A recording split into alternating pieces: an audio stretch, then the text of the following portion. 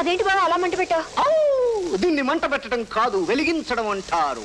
ఈ అరటికాయ మీద వెలిగించనా? ఈ తలుపు మీద వెలిగించనా?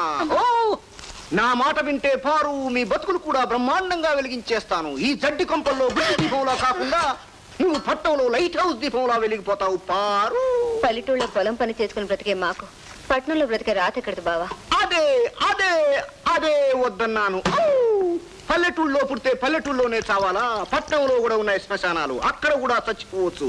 నువ్వు ఊ అన్నావంటే మీ బతుకుల్ని నోట్ల కట్టతో వెలిగించేస్తాను. అదెలా వీలవుతుంది బావా? అన్ని అనుకోవటం వరకే కుదురుతుంది! నా మాట వింటే ఎలా వెలగాలో చెబుతాను. బ్రదర్ తన పొలం మీద యాభై వేలు అప్పు తేగలడు కదా గలడు. తక్షణ ఓ టూరింగ్ టాకీస్ తీసుకోవచ్చు కదా కోవచ్చు. అప్పుడు మీ జీవితమే ఓ రంగు రంగుల బొమ్మ. కానీ సినిమా హాల్ కప్పంటే ఆయన ఒప్పుకుంటారో లేదో? ఆయన కూడా ఒక మాట అడుగు బావా. అడుగుతాను. బ్రదర్ని ఈ రాత్రికే కాగడాలా కూర్చోబెట్టుకుని ఒక వెలుగు వెలిగిస్తాను.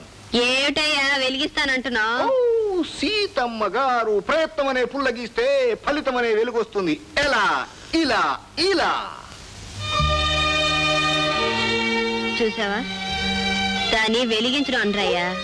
అంటించడం అంటారు. అలా అంటించడం వల్ల జరిగేదేమిటో తెలుసా? తగలడ్డం. అలా తగలడకూడదు అనుకుంటే దురాశలనే అగ్గిపుల్లల్ని అనవసరంగా గీయకూడదు. అర్థమైందా? ఈ వీడియో మీకు నచ్చినట్లయితే లైక్ చేయండి షేర్ చేయండి.